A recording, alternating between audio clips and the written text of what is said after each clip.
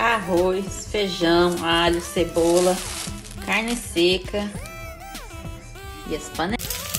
Baião de dois. E uma carne de sol. Chegando nesse ponto aqui, ó. Tampa.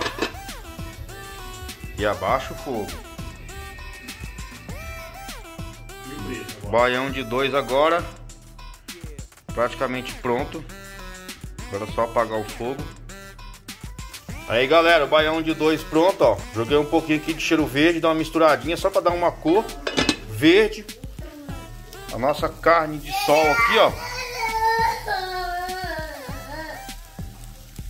Coloquei cebola e coloquei um pouquinho de cheiro verde. E o Arthur gritando aqui, ó, quem quer comer, ó.